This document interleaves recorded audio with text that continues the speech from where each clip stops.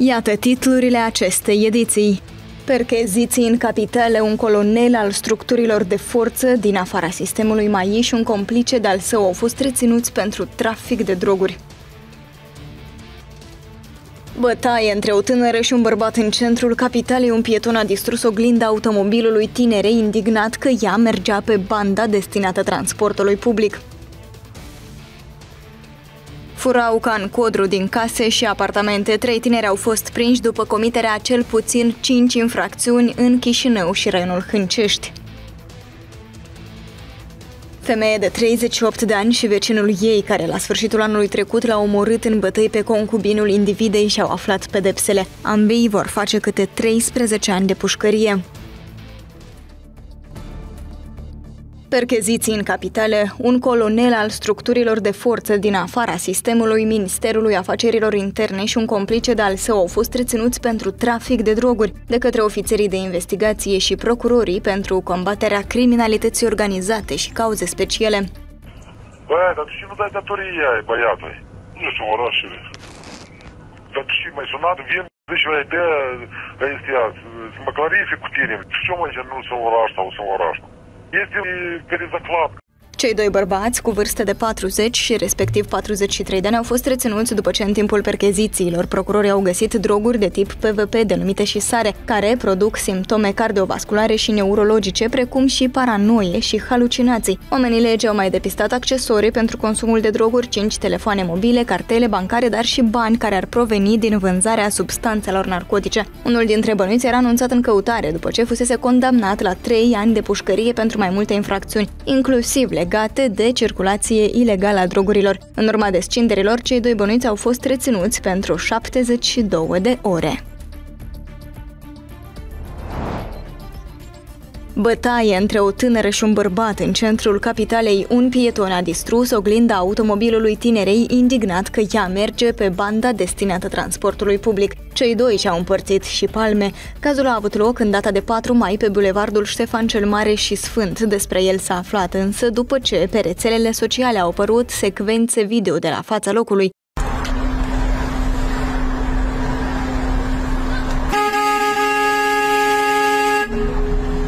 Contactat telefonic, ofițerul de presă de la Poliția Capitalei Natalia Stati ne-a declarat că acest caz a fost înregistrat la poliție chiar de către tânăra de 27 de ani, iar fi declarat oamenilor legii că bărbatul i-a deteriorat oglinda retrovizoare. Ulterior, tânăra a venit cu o reacție și pe rețelele sociale, susținând că ea a sărit la bătaie numai după ce bărbatul i-a deteriorat oglinda.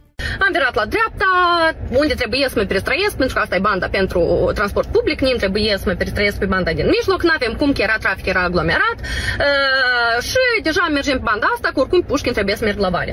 La un moment dat, un pieton care aștepta uh, transport public în stație și pus mașina mea în geamuri, în ușă, în oglindă, uh, să mă numească să zic că eu merg neregulamentar. Tânăra a mai adăugat că inițial ar fi încercat să explice calm situația, însă bărbatul ar fi refuzat să o asculte. Cazul este înregistrat la poliție, iar bărbatului a fost trimisă citație pentru a se prezenta la inspectorat. Dacă vina lui va fi demonstrată, el riscă o amendă de până la 3300 de lei sau până la 100 de ore de muncă neremunerată în folosul comunității. Furau ca în codru din case și apartamente. Este vorba despre trei tineri cu vârste cuprinse între 19 și 22 de ani care timp de două luni ar fi comis cinci furturi din locuințe aflate în Chișinău și Raigonul Hâncești. Potrivit oamenilor legii, bănuiții ar fi acționat fără frică pe timp de zi, dar și noaptea. Aceștia intrau de fiecare dată în locuințe prin forțarea ușilor în momentul când stăpânii nu erau acasă și ar fi furat bijuterii, tehnică de calcul și bani. Prejudiciul total cauzat victimelor a fost estimat la suma de 625.000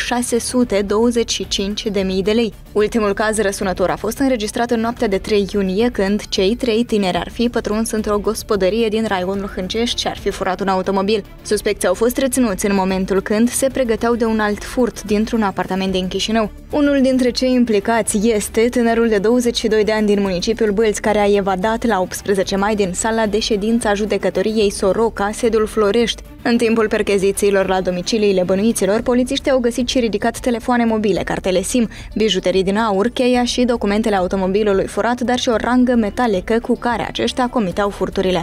În prezent, oamenii legii documentează și alte două persoane care ar fi implicate în schema infracțională. Cei trei tineri au fost reținuți pentru 72 de ore și sunt cercetați penal pentru furt. Dacă vor fi găsiți vinovații, riscă până la 5 ani de pușcărie.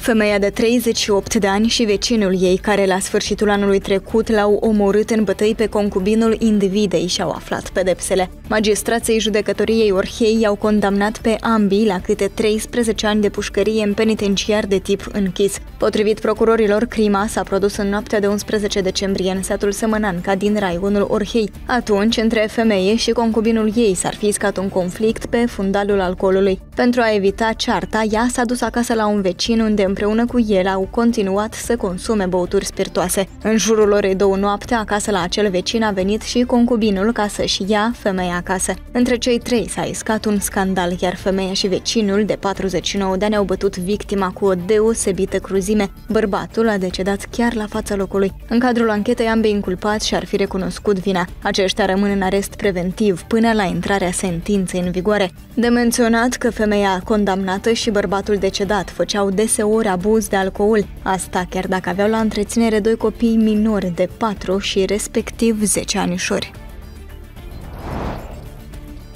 Administratorul unei companii de la noi ar fi fost șantajat și amenințat cu moartea. Banii estorcați de către suspect mergeau în fondul unei organizații criminale. Victima, în vârstă de 47 de ani, s-a adresat la poliție, iar oamenii legi au reușit să rețină bănuitul la scurt timp. El s-a dovedit a fi un chișinăuian în vârstă de 23 de ani. În cadrul anchetei s-a constatat că acesta l-ar fi racolat pe rețelele sociale pe un administrator de companie care se ocupa cu perfectarea actelor românești, pe care a început să-l amenințe cu răspândirea unor informații defăimătoare despre acesta, dar și despre personalul companiei prin publicarea unor secvențe video în mediul online. În total, el ar fi estorcat 10.000 de euro, banii destinați unei organizații criminale. Eu ți-am zis, să dau rublă la obceac. Știu eu cu ea, am eu oameni serioși. Pentru păstupul tău, eu am reușit să dau o desiatcă de euro la obceac. Și să, să o dau așa.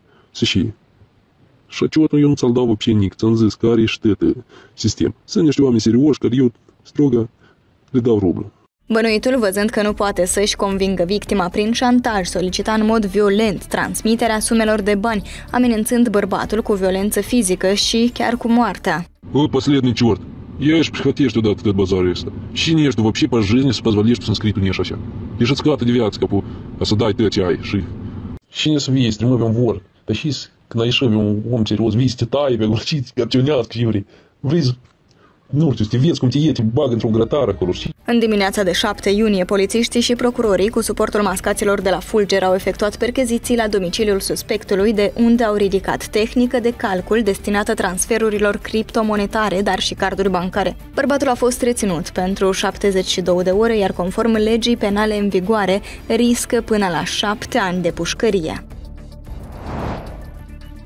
Un tânăr din Hâncești riscă să-și petreacă următorii 20 de ani după gratii, fiind acuzat de exploatarea sexuală a unei fete de 13 ani din Bâlți. Potrivit procurorilor, totul a început în luna aprilie 2022. Bănuitul în complicitate cu o tânără care avea atunci 17 ani ar fi recrutat minora pe care inițial ar fi adăpostit-o și apoi ar fi exploatat-o sexual în scop comercial într-un apartament închiriat în Chișinău. Cei doi suspecți ar fi luat toți banii de pe urma activității sexuale a minorei, oferindu-i acesteia doar bani pentru pentru produse alimentare. După două luni de exploatare sexuală, fata a fugit din apartamentul închiriat, după care a denunțat cazul la poliție. Între timp, tânărul bănuit în dosar a reușit să fugă în Germania, însă a fost reținut pe aeroportul internațional Chișinău în momentul în care s-a întors în țară. În ceea ce privește tânăra complice, oamenii legii au stabilit că aceasta se află în Federația Rusă și respectiv a fost anunțat în căutare internațională. Potrivit codului penal, ambii riscă până la 20 de ani de pușcărie pentru trafic de copii. Minora exploatată sexual se află la la moment în grija bunicii sale după ce anterior a beneficiat de consiliere psihologică. Victima a solicitat de la învinuit suma de 27.000 de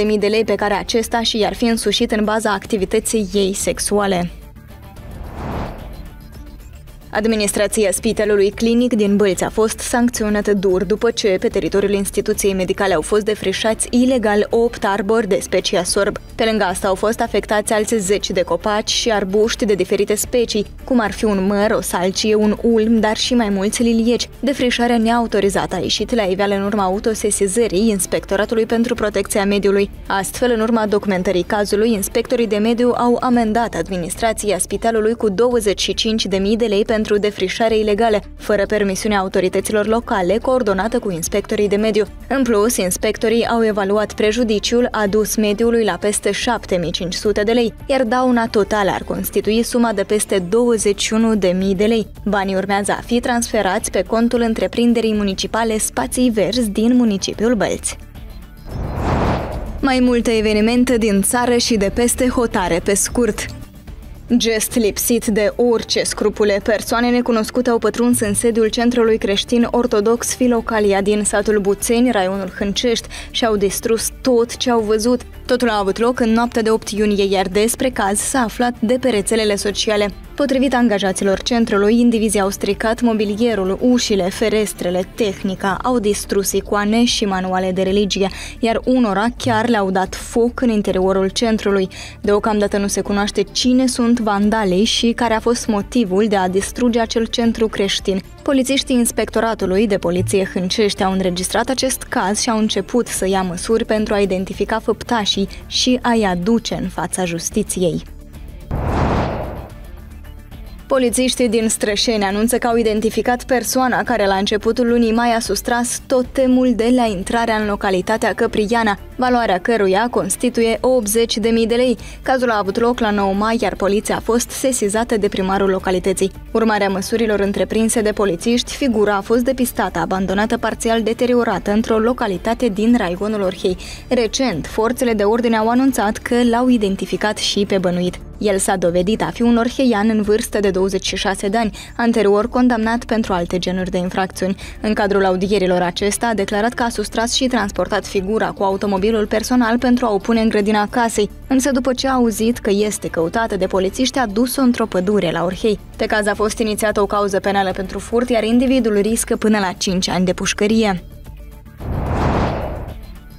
Descinderi la două pușcării din țară, angajații penitenciarilor au percheziționat celulele deținuților pentru a contracara păstrarea bunurilor și a substanțelor interzise. Astfel, angajații penitenciarului numărul 4 Cricova au găsit ascunzișuri bine camuflate, de unde au ridicat droguri, telefoane mobile, cartele SIM și fise pentru jocuri de noroc. Aceleași măsuri au contracarat tentative de introducere a băuturilor alcoolice deghizate în carbogazoase predestinate condamnaților din penitenciarul numărul 5, Cahul. Pe parcursul operațiunii, incidente nu au fost înregistrate, precizează Administrația Națională a Penitenciarelor. Sute de pachete cu țigări au fost găsite de oamenii legii într-un microbuz marfar în raiconul Șoldănești. Asta după ce, în baza unei informații operative, polițiștii au stopat un șofer de 57 de ani pentru verificări. În urma controlului s-a depistat că acesta transporta 750 de pachete, fără timbru de acciz și fără acte de proveniență. Potrivit poliției, valoarea totală a acestora s-ar ridica la suma de circa 15.000 de lei. Preliminar s-a stabilit că marfa urma să fie comercializată în magazinele din raionul Șoldănești. Țigările au fost ridicate și sigilate până la elucidarea cazului și luarea măsurilor legale. Dacă ai fost martorul unei situații interesante ce poate deveni o știre, expediază imaginile la adresele indicate pe ecran. De asemenea, poți contacta echipa 902 la numărul de telefon 062 071 902. Știrea ta o va vedea o țară întreagă.